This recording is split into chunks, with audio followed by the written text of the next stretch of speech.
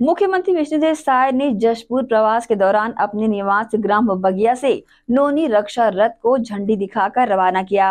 Jashpur police प्रशासन द्वारा सुरक्षित महिला, सुरक्षित समाज के उद्देश्य से इस रथ का संचालन किया जा रहा है, ताकि ज़िले में महिलाओं एवं बालिकाओं से संबंधित अपराधों पर लगाम लग सके और ऐसे मामलों की कमी आए।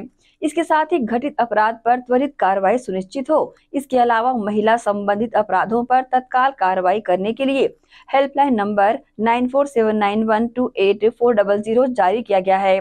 नोनी रक्षा रथ के उद्देश्यों की जानकारी जशपुर जिला पुलिस अधीक्षक शशि मोहन ने मीडिया को इस प्रकार से दी है। आज जसपुर पुलिस के द्वारा नोनी रक्षा रथ के नाम से एक वाहन का शुभारंभ माननीय मुख्यमंत्री जी के कर कमलों के द्वारा उनके गृह ग्राम बगिया से किया गया।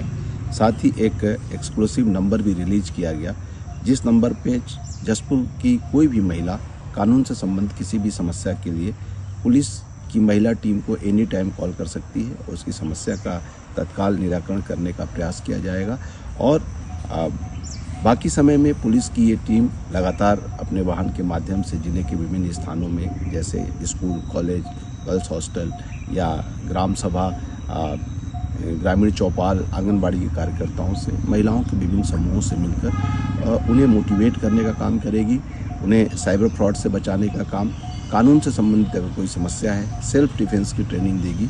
इस तरीके से महिलाओं की सुरक्षा हेतु आज ये हमारी टीम जो गठित की गई है लगातार इस दिशा में प्रयास करेगी।